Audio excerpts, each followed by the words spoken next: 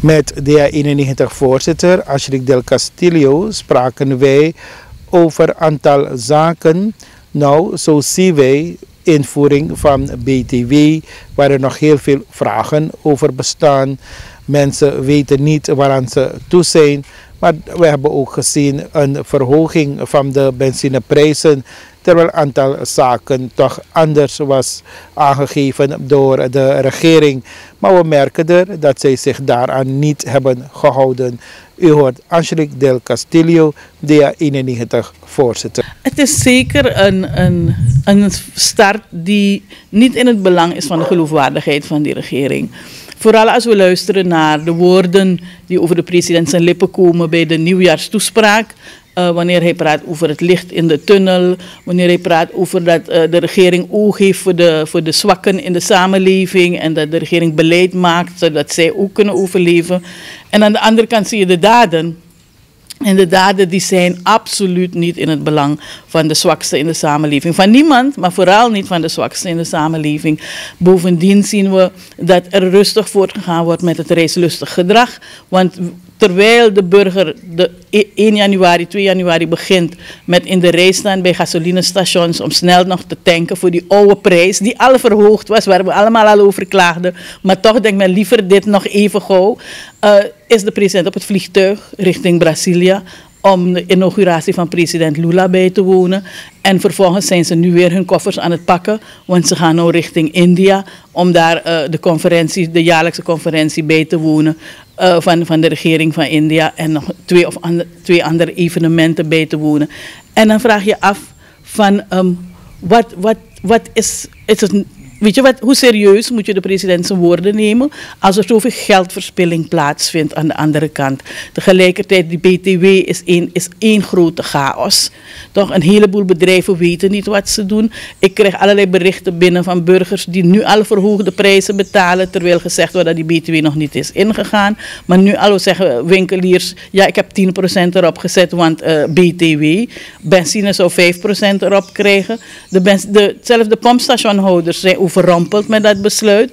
En deze regering leert niet, want dit is al vaker gebeurd. Dat de pompstationhouders hebben gezegd, bij die government take, je kan niet plotseling aanpassen vandaag en morgen weer dat we het al beginnen in te houden. Je moet met ons in overleg gaan. Nochtans doen ze dat. Um, we zien ook dat ten aanzien van de gezondheidszorg het alleen maar van kwaad tot erger wordt. Ik, ik spreek dagelijks burgers die zeggen: als je geen geld in je zak hebt, moet je niet ziek worden. Uh, familieleden worden ziek en je moet eerst betalen voordat de hersenscan gemaakt wordt. Je moet eerst betalen voor de shunt gezet wordt. Toch? En het zijn geen kleine bedragen, het zijn bedragen van tussen de 5 en 10.000 SRD die mensen op tafel moeten leggen. En van waar moeten ze dat halen? Dus um, Wanneer we praten over, de president heeft het over een programma waarbij ont, ontheffingen, mensen tot 7.500 gaan geen belasting betalen. Mensen tot 6.000 en 4.500 gaan, gaan uh, ontheffingen krijgen voor die uh, marktconforme tarieven. Maar ze weten niet hoeveel mensen dat zijn. Hoe, hoe, hoe is dat programma dan in place? Waar, waar, waar zijn de standaarden, de transparante standaarden, die, waar je moet, als burger heb je het recht om te kunnen verifiëren, voldoe ik kom ik in aanmerking en om je aanvraag vrij van wie je bent of waar je woont in te dienen. En ook voor jou als burger, als zou je niet kwalificeren, dat je kan verifiëren en zeggen van welke burgers vallen onder dat, weet je, welke eisen moet je voldoen om in aanmerking te komen voor die ontheffingen. Bovendien vraag ik me af, en ik blijf me dat afvragen.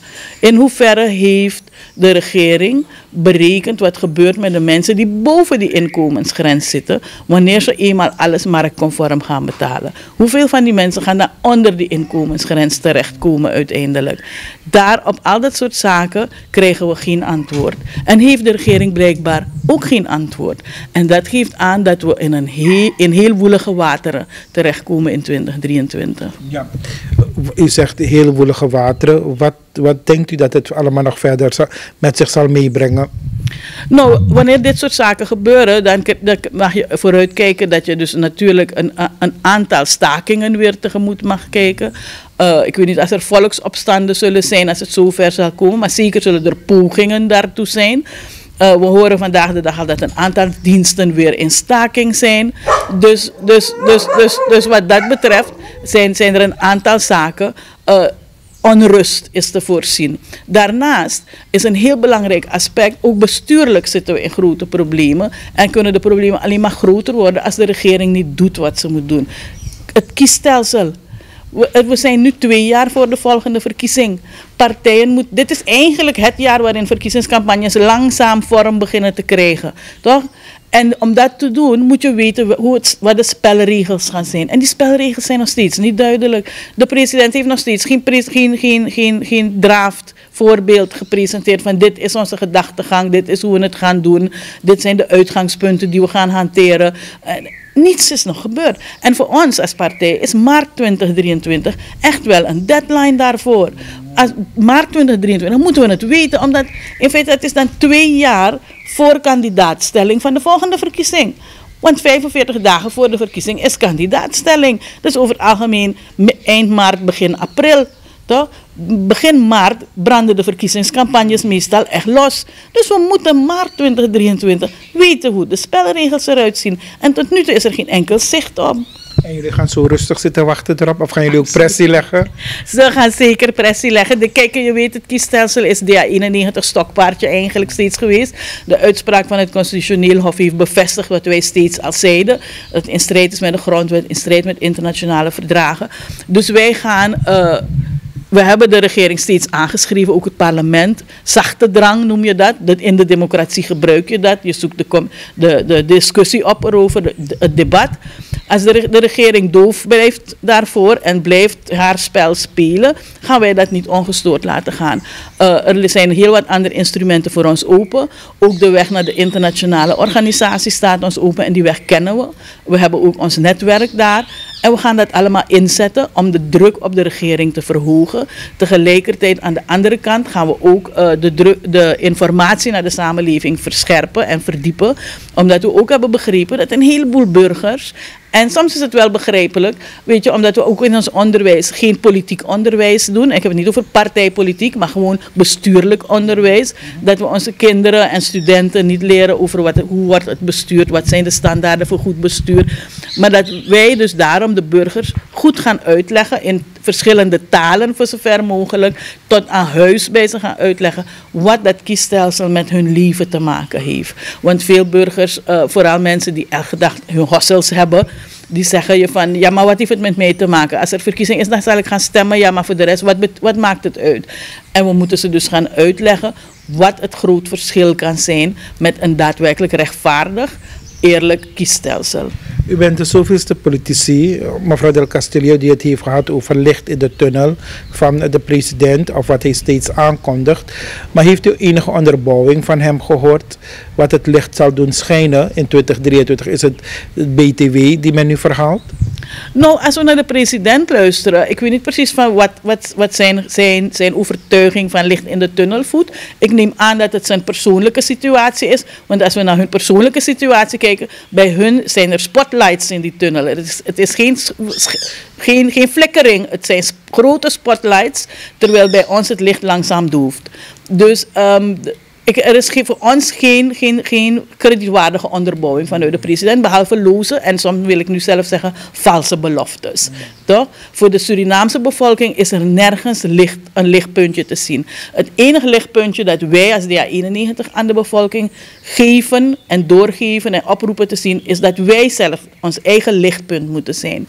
Wanneer we dat, dat verbeterd land willen hebben, betere leiders willen hebben, dan moeten wij beginnen te zijn wat wij willen hebben als leiding. We moeten elke dag opstaan en het beste in onszelf geven aan deze samenleving. We moeten elke dag opstaan en onze kinderen opvoeden met principes en waarden en normen. En onze mensen leren geen bewondering te hebben voor mensen die illegaal bezig zijn en die crimineel bezig zijn. Maar bewondering te hebben voor mensen die eerlijk, oprecht en solidair met zij die het minst hebben hun leven inrichten. Welke plek geeft u het woord verdraagzaamheid van de vicepresident die dat heeft aangekaart in zijn speech? Vooral verdraagzaamheid bij de regering. Nou, verdraagzaamheid. Ik denk dat het volk verdraagzaam moet zijn naar corruptie.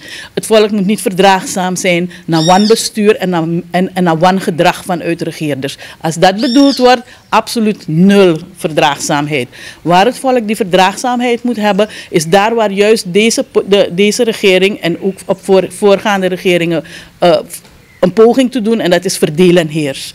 Daarvoor moeten we ons niet lenen. We moeten verdraagzaam naar elkaars culturele verschillen zijn, naar elkaars etnische verschillen zijn. We moeten verdraagzaam zijn naar, naar elkaars verschil in ontwikkeling. En we moeten de tijd nemen om elkaar dingen uit te leggen, met elkaar te praten en naar elkaar te luisteren. En we moeten solidair zijn met elkaar in die zin dat ieder van ons als je iets over hebt, maakt niet uit wat, dat je kijkt met wie je het kan delen, zodat die het ook haalt, net als jou. Want dat maakt gelukkig. Die verdraagzaamheid wil ik hebben. Voor die verdraagzaamheid roep ik op. Maar absoluut zero tolerance, zero verdraagzaamheid voor wanbestuur.